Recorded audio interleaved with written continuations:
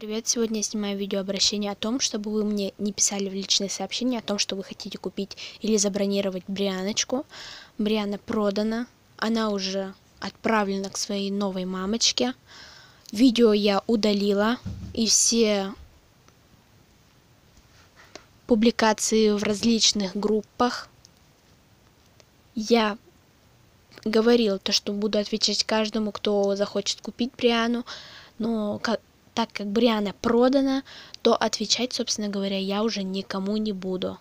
Потому что это очень долго, около 60 сообщений о том, что хотят купить Бриану, либо что-то спрашивают про нее.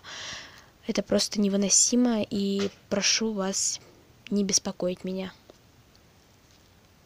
Спасибо всем за внимание. Пока-пока.